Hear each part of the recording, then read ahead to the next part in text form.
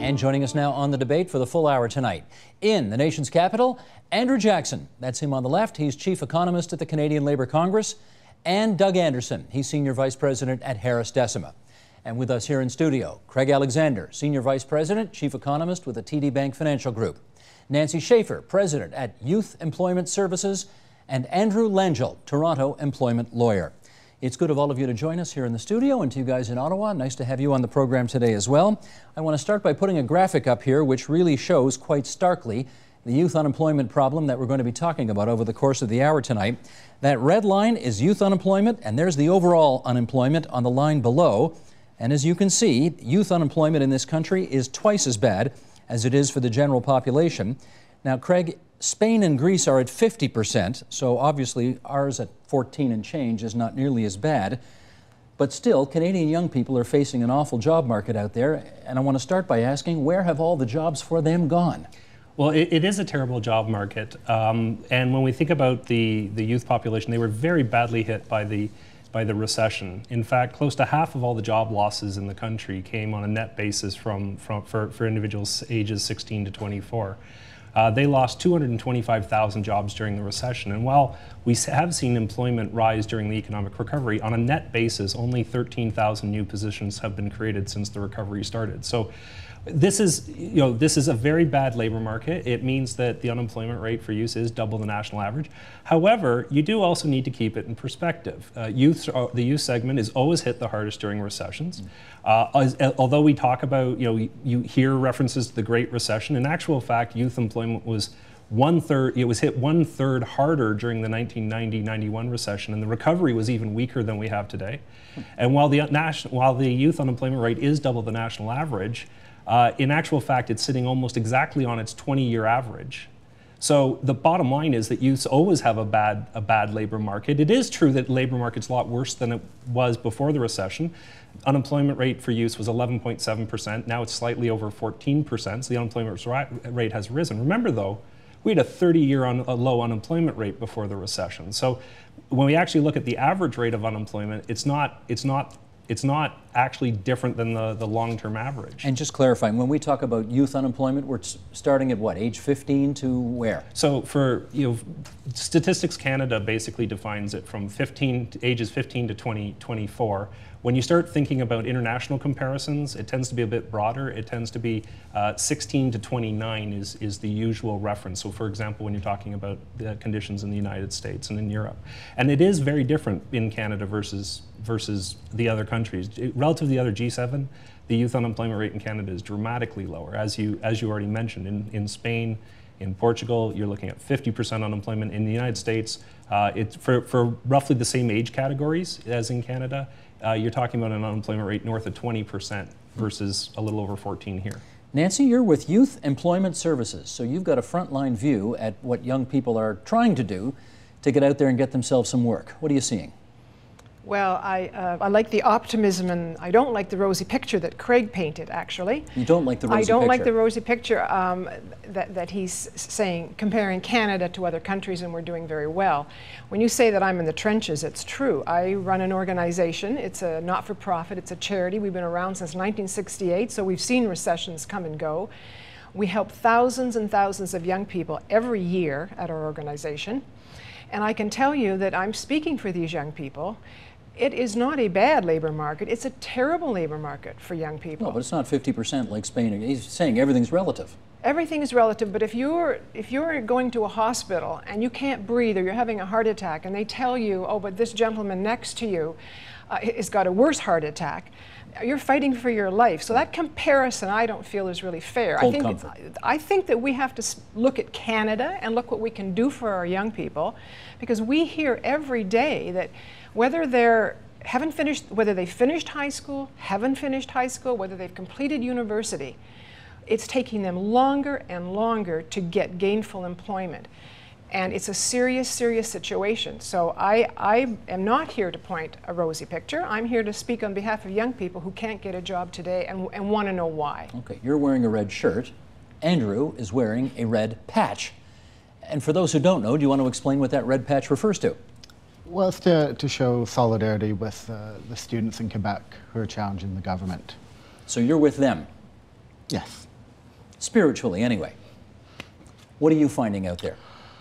Well, a number of things. Uh, you know, young people are you know facing the prospect of having to develop uh, you know, a career with only a, a temporary stream of uh, precarious jobs. Uh, that's number one.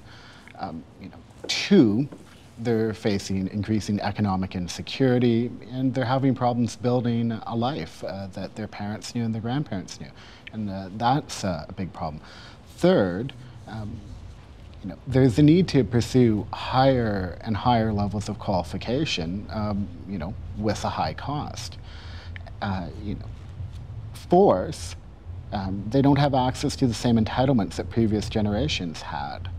And uh, five, you know, when you get into other issues, uh, the high cost of housing in urban centers, uh, you know, tuition fees, you know, having to service debt, uh, you know, it, it's a perfect storm in the labor market and in uh, the wider society that are impacting young people.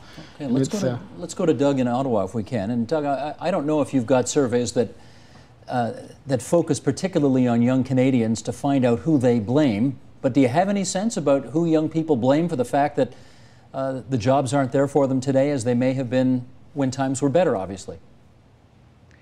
Well, I, I can't point to any stats that will tell us who they're blaming uh, for the situation that, uh, that faces youth today.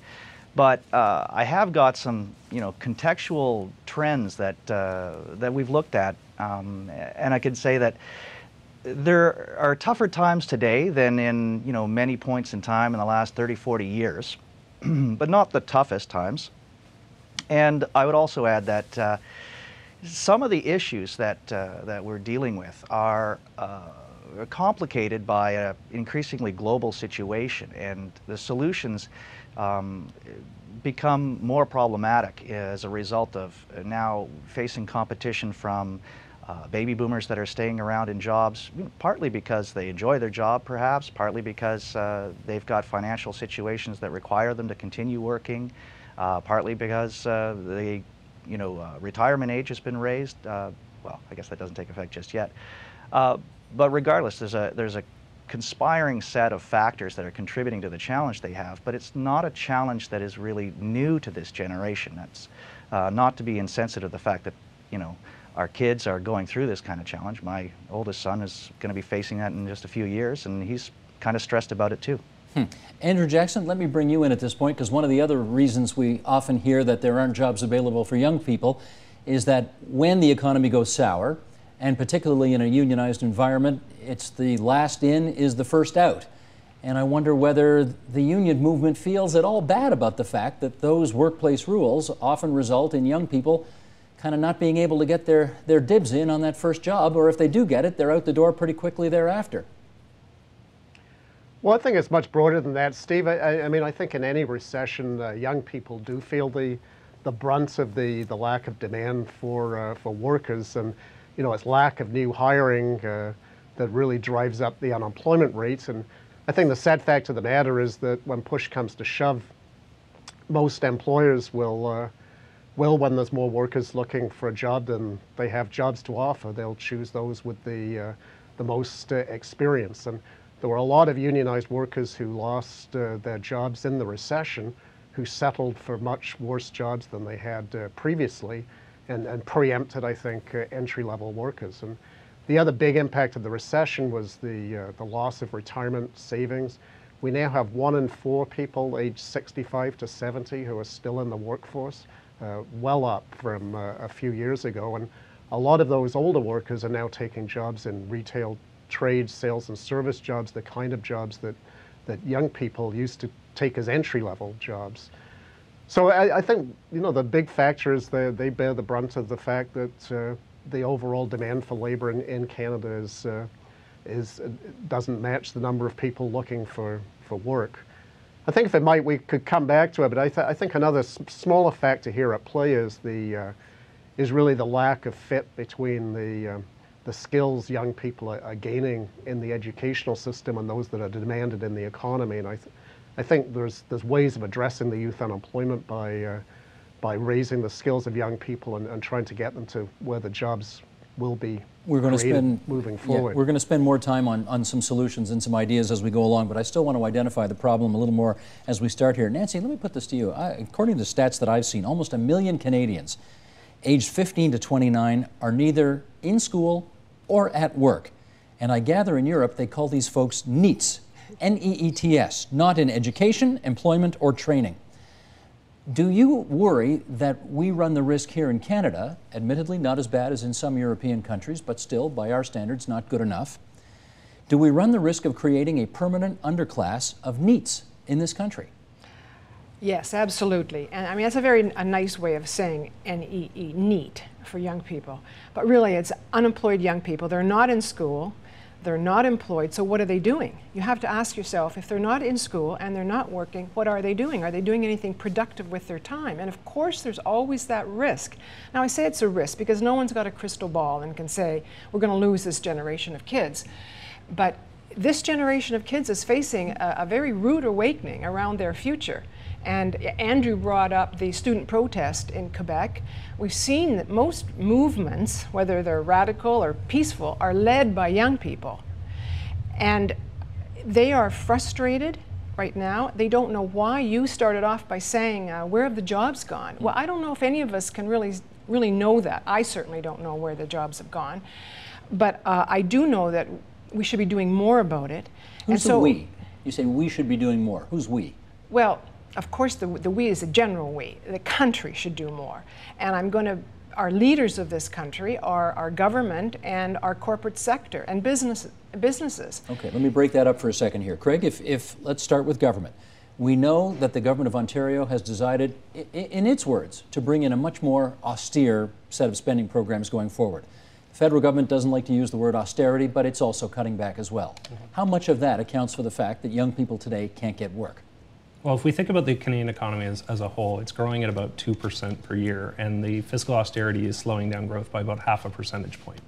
So that doesn't, that doesn't sound like much, but you're, you're talking about a, still a significant drag on the economy, and it will feed through to, to, to slower employment growth. It probably means that as we look forward, that the rate of economic growth um, probably will not be strong enough to lead to a material decline in the unemployment rate. So in terms of this conversation, you know, I would suggest that a year from now, we probably will be having the same youth unemployment rate that we basically have today. So this again brings up why this is so relevant. And you know, as you said, um, there there is an enormous number of vulnerable young people. I didn't mean to actually give a, an overly optimistic assessment of what what the state of affairs are. Uh, but I also don't want to over, overly sensationalize it. I mean, the youths face youths are facing a much tougher labor market than they were in 2007 but we also need to keep it keep it in perspective. A good example of that is the you know 904,000 that are in the NEET category as you described it. Um, one of the things that didn't get as much airplay was that that number uh, as a share of the youth population hasn't actually changed over the last 10 years. And so it, it is, it, the NEET category does not seem to be a product of a great recession that created a lost generation. And in fact, I think one of the things that's shaping our dialogue is a lot of the media uh, concerning what's going on in the United States. I, I, not that long ago, I was in uh, southern Ontario and I was visiting a national park, and there was two uh, Canadian youths there, and they were having this conversation about being part of the lost generation. So I actually went and challenged them on it to try and get a sense of where they were getting their perception from. And it was because the dialogue we're having about this generation being a lost generation. I don't actually think it is a lost generation. I think they're facing tough labor market conditions. I think it's going to be harder to find work.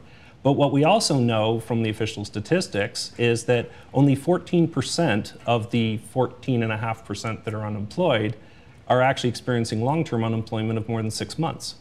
So, in other words, it is a very tough labor market. We probably need to do more to support our youth, and we should be doing that regardless of the economic circumstances.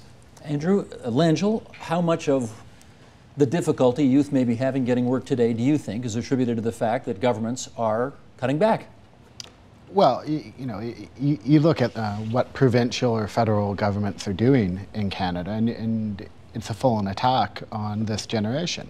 It's a full-on attack of this generation. Yes. He, ju he just said, stop with the uh, exaggeration and with the um, sensationalizing of headlines. and then you've just called it a full out attack on this generation? Well, let me break it down. Okay. You have changes to the EI system uh, that the conservative government is doing.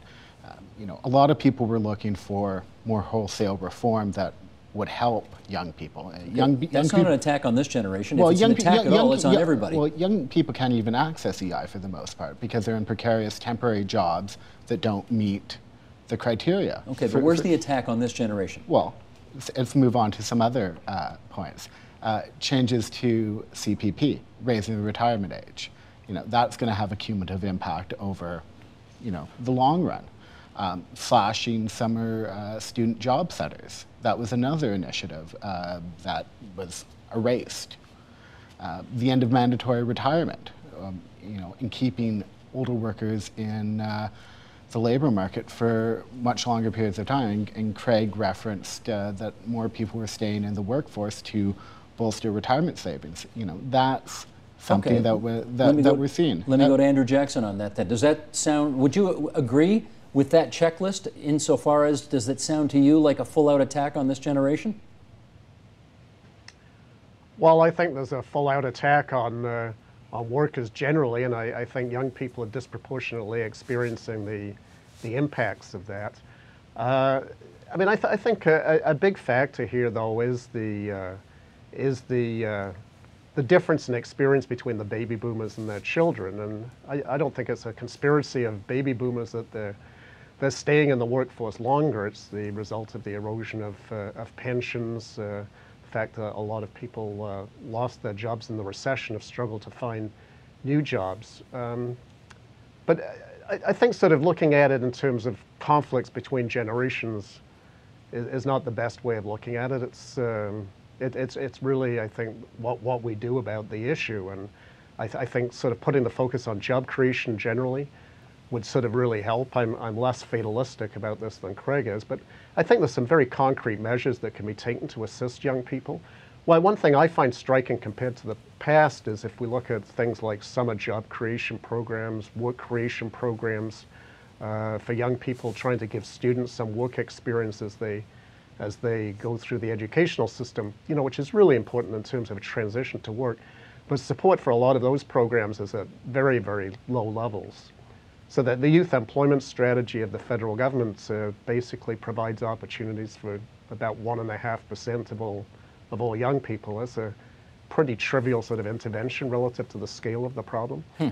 So I agree with Craig. I mean, it's going to be a while till we get out of this situation, but I, I think there's things we can be doing now to to stop the, the worst of the impacts, uh, you know, falling on a, a relatively uh, small group of young people. And let's face it, people who are unemployed for two, three years in their, you know, late teens, early 20s really do risk being scarred for life by that experience. They'll, they'll Let- likely never get into the, the workforce on the same terms and conditions. Okay, as- let me get Cra- let me get. Craig Alexander, and then I want to hear Doug Anderson on this as well. Craig, Um, in terms of the, the, the, the potential risks from government austerity, um, the one thing I would say that we really do need to be very careful about as we go through this process of fiscal rebalancing is that we don't underinvest in education.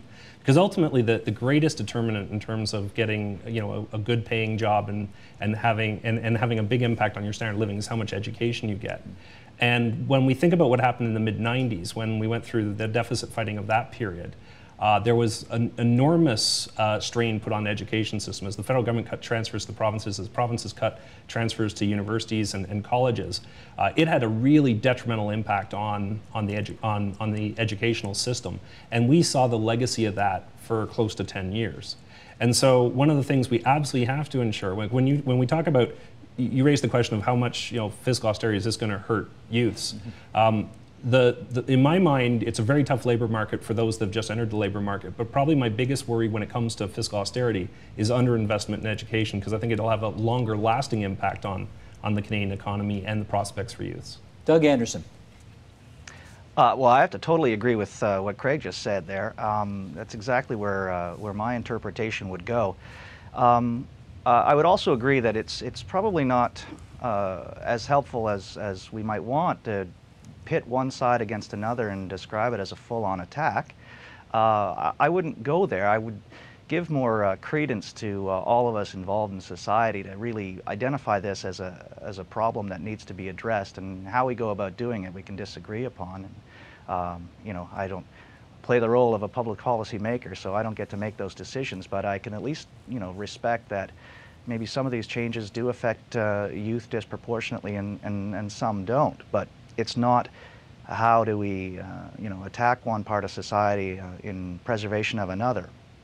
So I don't think that's terribly helpful, and I don't really think that's what's going on. I think that, uh, you know, focusing on investing in the ways that we can make those who are unemployed uh, productive in the workforce uh, as soon as possible is uh, exactly the way to go about doing it. And, uh, and I would encourage those kinds of policies. I, I think that uh, those prove to be the uh, successful ones. And um, maybe, you know, highlighting those kinds of programs is the way to ensure that there isn't the tension between generations that, you know, that this might be generating. And then sell newspapers. Nancy.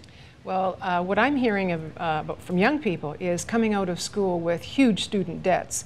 So they, they have got the message that staying in school is important and getting more education will lead to a better job and, and future potential earnings.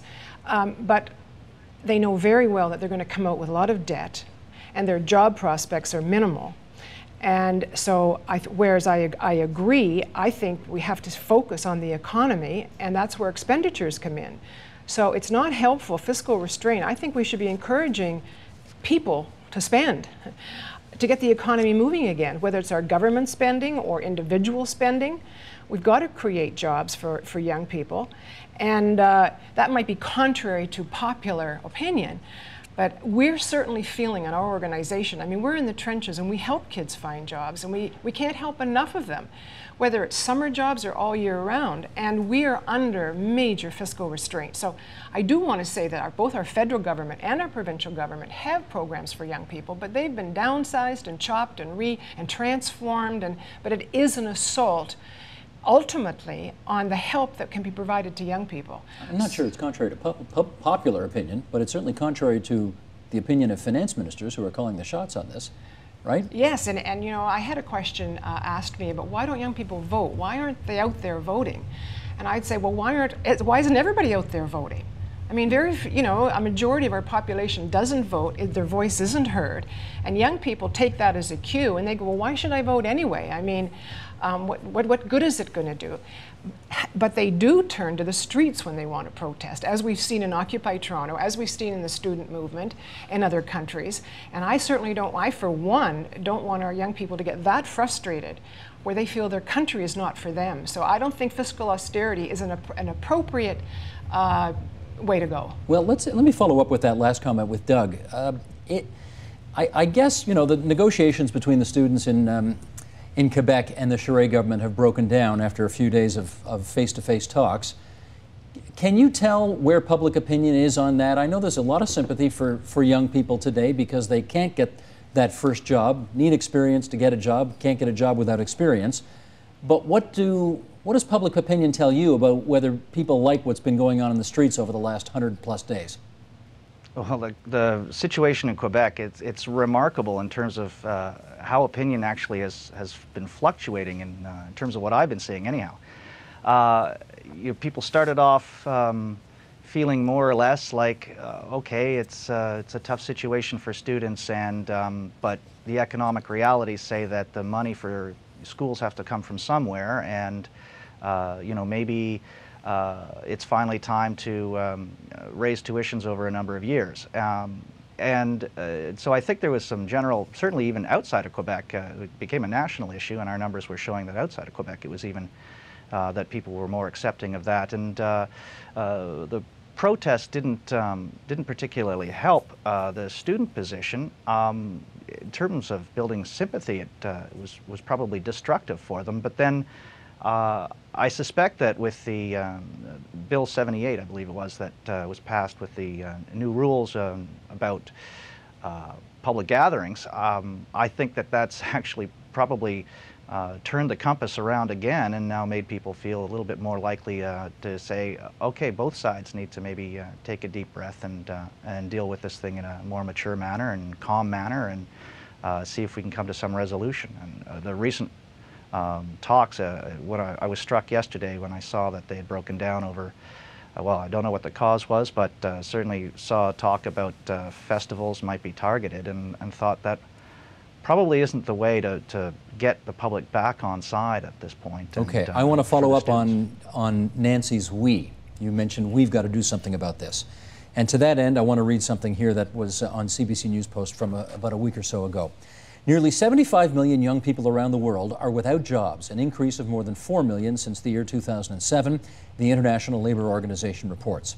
In a study released this week, the ILO says there is little to suggest the trend will improve over the next four years. Canada is not immune from the global trend. A report by TD economist Francis Fong, released in March, suggested the economic recovery has been, quote, almost non existent for young Canadians who face challenging job prospects for several more years, even as older workers have been flooding into the job market and getting work. Let's pick up on the we. Craig, whose responsibility is it to deal with this? Everyone's. I mean, at the end of the day, I think that there is a role for government to play because I do think that education and skills training is a core part of the uh, a part of building the, the, the human capital that we need. And so, you know, in terms of employability, you can see that employability is directly correlated to the amount of education you get. Uh, I think that uh, businesses have a role to play in terms of valuing the skills that, that, that young people have. Can't force anybody to hire anybody, though. But no, you can't. And you know, at the end of the day, it, we are a product of the international environment that we're in. The global economy is still struggling. Much of the problems for, can, for the Canadian economy actually lie outside of our borders. You know, if you want to know, you know, in terms of the what are going to be some of the key determinants to the Canadian economic strength and job prospects, well, it's going to be the strength of the U.S. economy, which regrettably Canada doesn't really have any influence over. Mm. Uh, a lot will determine on how Europe deals with its fiscal crisis and and whether they can contain contain it, uh, which is again outside the scope of our ability to influence it. Uh, businesses will basically hire labor on the basis of what they expect for future demand and the, and the need for workers to fill those positions. Um, so I do think that you know businesses can play a role in, in, in, championing young people when they have vacancies and trying to get past a little bit past that that that chicken and egg problem of you know no experience, no job, no job, no experience, um, recognizing potential. Um, at the end of the day, though, there's also a role for individual Canadians to play, particularly the, the young people, to keep looking and keep trying. Right? One of the reasons why I was trying to emphasize the fact that that the unemployment situation is bad, but it's not a lost generation, is because you don't actually want the generation to lose heart and give up, because that actually fuels the problem by creating even more discouraged workers. So let's get some ideas here, Nancy. Some creative solutions, some creative solutions rather, to who the we is and what they should do? Well, in our province of Ontario, we have many, uh, we, we, call ourselves service providers, those that actually work with young people, and we're employment agencies. So we have a network, and we, ha we have a few tools in our toolkit that we know helps. And one of the things that helps is when you have a young person with a certain skill set and they want to do a certain job, we work with employers. So, yes, we work with youth, but we also work with employers. And we say to them, if you'll take on this young person and train them, we can give you a stipend or we can help pay for that training period. Where do you get your money from? Uh, uh that money comes from several sources. It comes from government grants. It's, we're a charity, so we do fundraising. And it comes from fee for service contracts we have. So it comes from a variety of sources. And what's your annual budget? Our annual budget is six million. And six we, million bucks. So. And we serve uh, seven over seven thousand young people a year, uh, at what an average cost of fifteen hundred dollars to get them a hmm. job. But that's no substitute for a good made in Ottawa or made at Queens Park youth employment strategy, is it? Well, no, but I mean, some of these ideas. I mean, I, I want to talk about partnership here. But you asked me um, what are some creative solutions? Because when employers looking at a young person, they'll say, well, why should I take you? You don't have any training, you're not experienced, and this person over here does and we, one of the tools we use. But yes, this young person brings uh, new energy, new creative ideas, and if we help cover your training costs, then that alleviates some of the risks. And they begin to listen to this. Does that this work is, as a pitch? Oh, it does work as a pitch, absolutely. That's just one of the things. But you have to, we have to fund that kind of effort. But there's a win-win because the employers are winning and the young people are winning. But I want to go back to something Craig said about creative solutions, is that we can't assume that young people have the skill to find a job. We assume that our school should, they, we should graduate mm. these perfect human beings, that they've got their education, and they should come out and they should be, know how to find a job. Well, they don't. And why should they? I mean, when they're in school, it's irrelevant to learn about how to, how to find a job. It's very competitive these days. One of the things that we have to focus on is getting them as competitive as the next person. So they'll say to us, How do I write a sophisticated resume when I've only had summer jobs? How do I use social media to create opportunities for myself? Can I jump in on this here? Sure. The older generation already thinks the younger generation has been coddled enough by helicopter parents who have never said a negative thing to these kids in their lives because they don't want to, you know, adversely affect their self-esteem. And now we're going to say you don't even have to go look for the job yourself. We're going to help you find it because you poor little folks don't know how to do it. Well, now I'm exaggerating for effect here, but you know what I'm saying? No, I, I repeat your question again. Well. I'm basically, say- you know, you say these kids don't know how to look for a job. Every generation prior to this generation seems to have learned how to go out there and find a job. Yeah. Uh, well, how come I- this I don't generation in, doesn't know? not in true this could see. environment. Not in this environment. I want to correct you there. And also, who, what young people are you talking about when you say coddled? I mean, are you talking about young people who are from backgrounds of poverty and course single not. parents? Of Are you course not. talking about university grads whose parents are earning two, three hundred thousand dollars? Yes. So you, you, you can't just say youth. You have because But even those the folks can't get jobs. demographics are quite different, and we have to keep this in mind. Okay. Ottawa wants in, and then Andrew Langille wants in. Andrew Jackson, was that you I heard uh, trying to get in earlier? Yeah, well, I, I think one aspect of this, Steve, is is is how the educational system relates to the world of work. And I mean, I think the underlying problem is we have six unemployed workers out there for every job vacancy that exists. So it's going to be tough for anybody to get work. But what, one one aspect of this issue is that th- there are, in, certainly in some occupations in this country, in some parts of the country, there are skill shortages, and I think we're doing a lousy job of, uh, of ensuring that young people can get into the, uh, the programs that give them the skills they need to, uh, to take those jobs. So, for example, I mean, it has been argued in the past that young people just weren't interested in the skilled trades. Well, we know there's jobs. The fact of the matter is, there are just not the places available in, in the colleges for the, the young people who are trying to get in to take those, uh, those programs. So, it, there's about a, a two, three year wait, I'm told, in Nova Scotia to get into a, a program to become an electrician. Um, so, even if you know, young people know where they want to go, they know what skill sets they need, being able to get that can be very, uh, very, very problematic.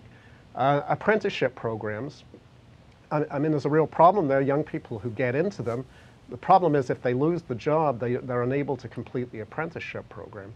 There are creative ways of dealing with that if we get groups of employers together that when a, a young person loses a job with one employer, that a group of employers can make sure that they're allowed to continue the training.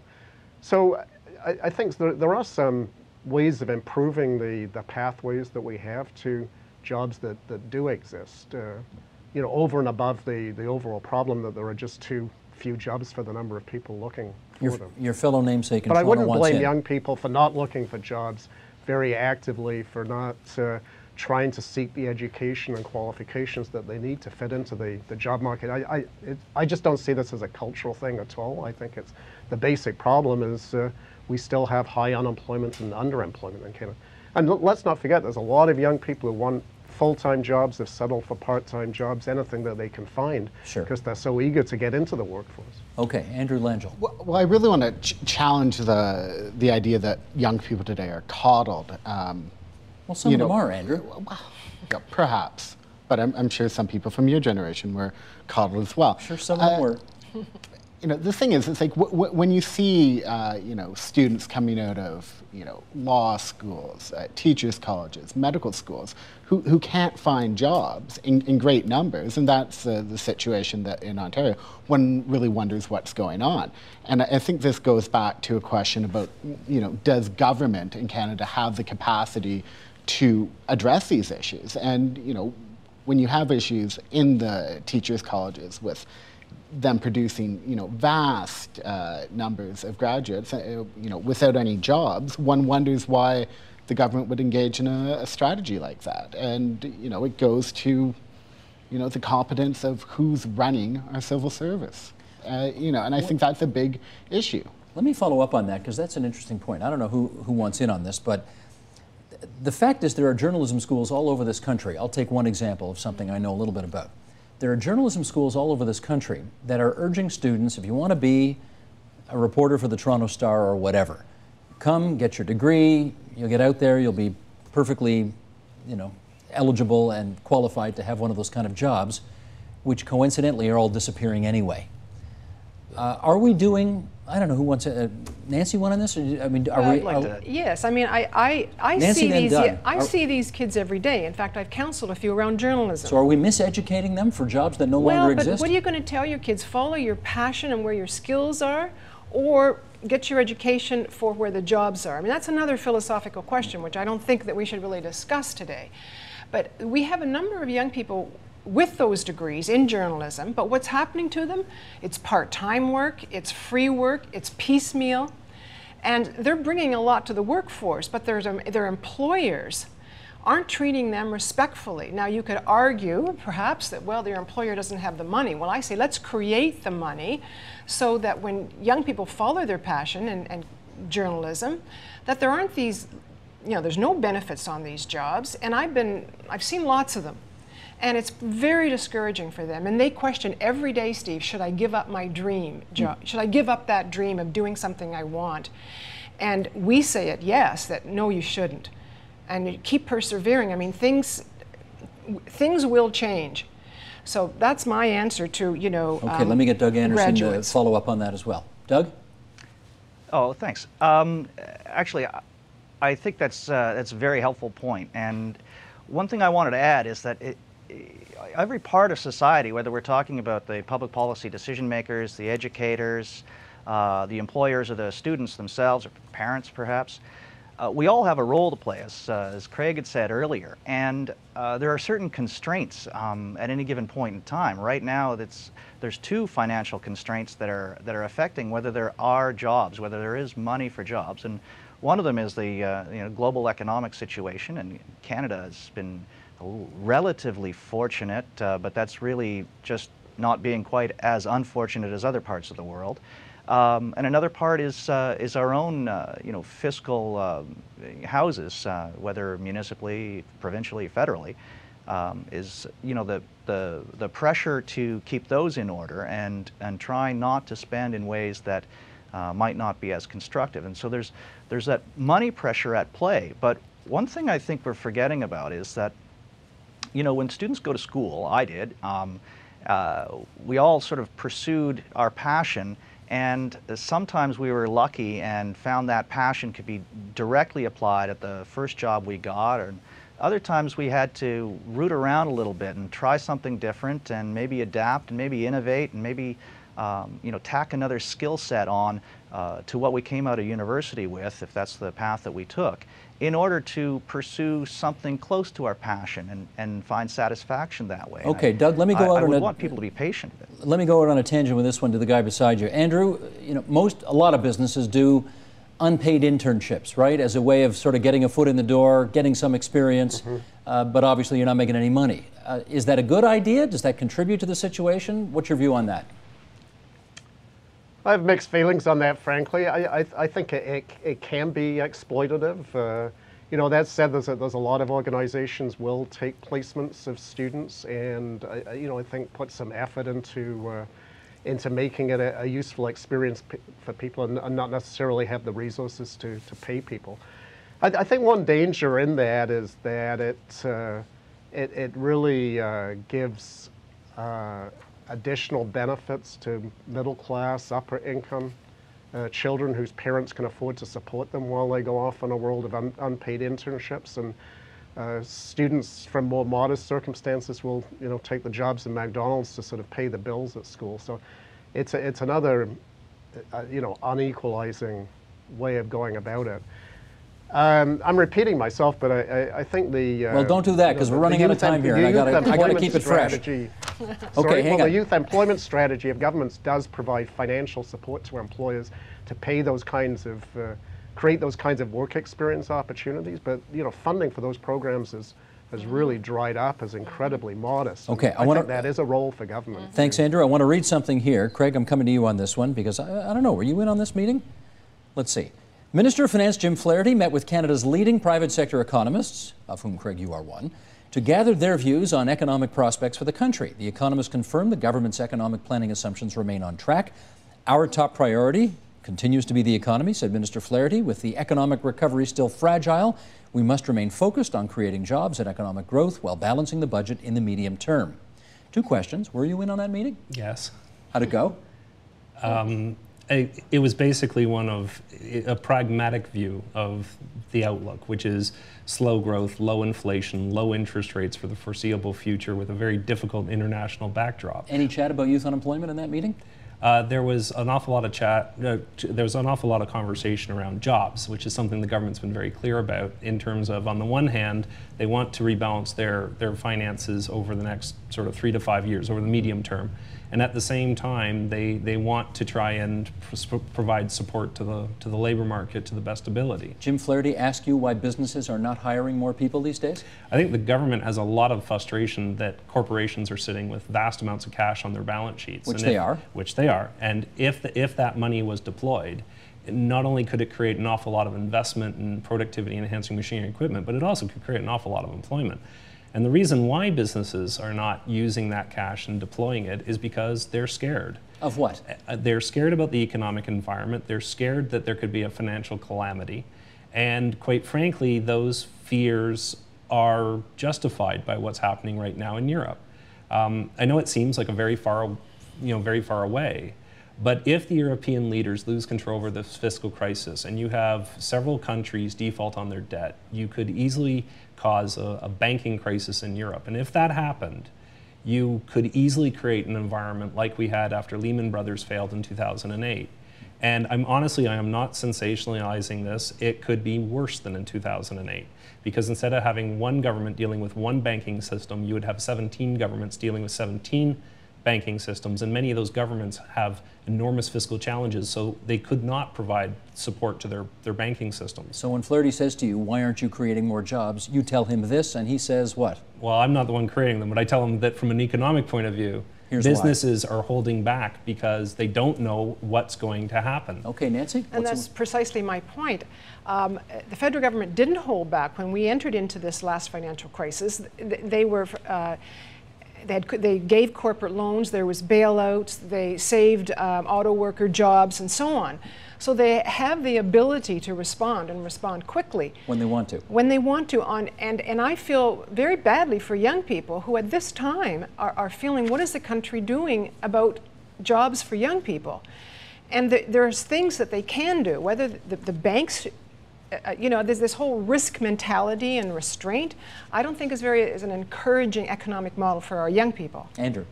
Well, just to follow up on uh, Craig's comments, it, it, would seem that uh, youth unemployment is not a priority of uh, Minister Flaherty and um, Prime Minister Harper, and uh, you know it's incumbent on them to make it a priority. If businesses are not going to be hiring young people, then government has to intervene and do something do about the situation. Do you see it as a priority for the McGuinty government in Queens Park? No.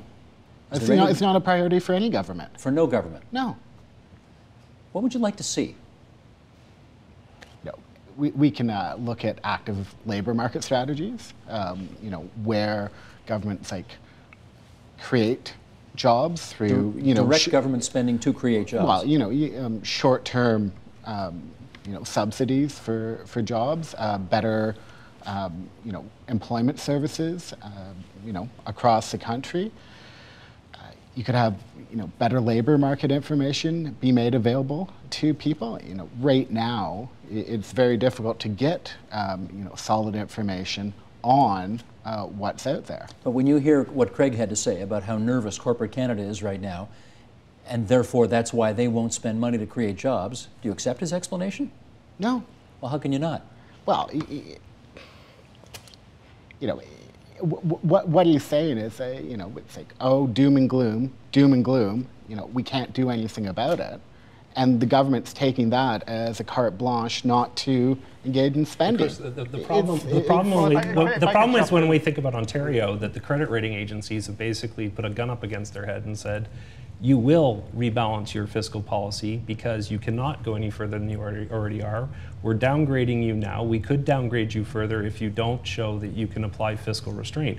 So the, the fact of the matter is the government doesn't have the ability to endlessly print money and just throw it at the problems. I do think there are things that the government can do within their within their budget constraint. I do think they, there's things governments can do even when they are doing fiscal austerity. I think your idea of more labor market information is an extremely important one. I think having I think having uh, high schools uh, prepare the students better for what the labor market looks like, making sure that they are they do understand when you take choices between journalism or engineering. You know, there's a different there's a different outcome at the end in terms of job prospects and income. That doesn't mean you shouldn't follow your passion and be the next uh, you know journalism star down the road. If it's your passion, chase it. But for heaven's sakes, understand the risks that you're taking in terms of the choices you're making. And I think universities and colleges can do better in terms of helping helping place their their their students with the labor market. Andrew Jackson, did I hear you trying to get in? Well, two point. I mean, I, I think governments could at least uh, stop making things worse and I mean, the federal government in this downsizing exercise, I mean, one thing you can be sure of, there's not going to be any young people hired by the federal government over the next two or three years. That's, that's probably true in Ontario as well. It's probably true across much of the broader public sector. I mean, one could sort of, you know, try and keep a, a, a sort of new labor force retention uh, or hiring going on through that process. I, I know that's difficult uh, in a downsizing process, but uh, but uh, otherwise, I mean, it is young people coming into the system bearing the burden of austerity the most. Uh, the, uh, the temporary employees of, of governments who tend to be young people are the first to let go. So that's one area where governments can act. And frankly, I, I can't resist just jumping in and saying that, uh, you know, as, as, Craig said, when, when companies are sitting on a lot of cash, uh, and that's uh, you, know, you know, being boosted by corporate tax breaks that have contributed to those deficits, I mean, there are choices governments can make, and one is to uh, to have fewer tax cuts and, uh, and less austerity on the on the public uh, spending side. We didn't have to cut the GST by two percentage points, which has contributed to the federal government fiscal problem. So, I mean, I, I, I don't think we just uh, can accept the notion that the only alternative right now is, is fiscal austerity. And, you know, as Krugman and others argue, maybe we'd end up in a better place with a more growth-oriented strategy both in terms of the jobs, but also in terms of the sustainability of, of government finances. Nancy Schaefer. I wanted to just say two things, Steve. You, you know, you mentioned about um, uh, the lack of money. I don't think this planet has ever seen so much money. I mean, we have billionaires and we have a billion billionaires, maybe not a billion billionaires, but we have a lot of or billionaires. So, much debt. so um, but I also wanted, we talked about ideas around how we can get out of this. We, uh, yes, we run a business center where young entrepreneurs, those who don't want, who can't find jobs, are turning to their own ideas to create businesses. And you, you see the, the, the energy and the innovation that young people bring to our labor market, whether it's green industries or their own home cottages or the passion, I mean, sorry, fashion, because Toronto is a fashion incubator uh, city. They bring lots of new ideas. So the jobs that are here today aren't going to be the jobs of the future. And so we need our young people um, bringing those new ideas and that energy. And if the banks would help fund uh, some of these young people with businesses, ideas, and more support for that, I think that's a great idea to help this country. Emphasis on entrepreneurship, and let's get those ideas for the future labor market. Is it tougher than ever now if you're a young person with an idea for a new job to get that to a reality? Uh, it's always been tough for young people. I know it's always tough. It's Is always it tough, now it's, and it's getting loans for their business. Mm-hmm. That, that's the tough part. Um, but through hard work and the internet, because the internet is spawning a lot of uh, excellent businesses of getting their products to the market, mm-hmm. and so on. So it, it always has been tough, but for but for some good ideas and hardworking kids, uh, it's an excellent option for this country to encourage that. Um, career path, if you will. It's not for everyone, Okay, let me do one. We got about three, four minutes left here. I want to put one more thing on the table. My hunch is, and I don't know, Craig, you first on this. My hunch is there are discussions about this subject at tables which have at them representatives from the federal government, the provincial government, labor, the education sector. Is there some kind of table where everybody sits around and says, we got to figure this out? And if they are doing that, how come they're not doing better? Well, I have to be honest, I'm not aware of a specific group that's you know coordinating that sort of discussion. Do we need that? I, I think that there is broad-based awareness that that jobs are, are, are important and that young people are disproportionately hurt by the environment that, that we're currently in. Um, but the, the simple reality is that you know if, if things improve oh, you know outside of Canada, it, I, I, would argue that actually from a fiscal point of view, it's actually more important what happens in terms of the U.S. fiscal policy and what happens in Europe than actually what happens in in Canada. Because if you actually have an improvement in in business sentiment, as we've talked about, then you are actually going to have quite a sharp reaction in terms of money getting put to work and jobs being created. And from a government point of view, I mean, most governments, I would agree with the conversation we've had, most governments are actually focused on how do we rebalance our finances. Um, but like I said, you know, you have to still try to, at the end of this, have a competitive, dynamic economy. You have to create opportunity. I would agree, actually, that we actually need more venture capital you know, in terms of, and this isn't just for young people, just in, in, general, in general, to have a to have a more productive economy, we need more venture capital. Doug Anderson, do we need some kind of multi-partite table discussion where representatives from, you know, all of the important institutions in our society that can create jobs get around a table and figure out how to do it? Well, I'd certainly be interested to uh, to see what they discuss and, and whether they can come up with some sort of consensus. Uh, so uh, I don't know of one like that, and uh, and would be very interested in seeing uh, what goes on. One thing I'd like to toss out, though, is that the in my experience, of the research that we've done among private sector decision makers about uh, you know hiring and prospects is that, uh, as Craig said, there's there's a lot of prudence, and right now caution is the word, and uh, it's perhaps cold comfort if um, if what we have in Canada is uh, a group of companies, uh, you know, private sector that actually has great potential and is sitting on some uh, wealth that hasn't been allocated towards, uh, you know, hiring and innovation and uh, um, expansion. But that is ultimately what they're going to want to do. That is how they're going to grow their own prospects. And companies will want to be uh, using that money to get a return on it. And from what I understand, and from what I would expect will occur uh, is what, where that money ends up, although not in the very, very short term, is uh, hiring, you know, our smart young Canadian talents, our entrepreneurs, our uh, graduates, our tradespeople, uh, and expanding the businesses uh, once they feel comfortable with the investment. The, the problem is that it's, it's probably not going to occur in the very short term. Okay. Doug, you get the last word on this today. Thanks, everybody, very much for your participation in our conversation. Uh, Doug Anderson, the Senior Vice President for Harris Decima in Ottawa, that's him on the right. Andrew Jackson, uh, Chief Economist for the Canadian Labour Congress, also in Ottawa on the left. Craig Alexander, Senior Vice President, Chief Economist, TD Bank Financial Group. Nancy Schaefer, President, Youth Employment Services. Yes and Andrew Langille, the employment law lawyer here in Toronto. Thanks very much, everybody. Support Ontario's public television. Donate at tvo.org.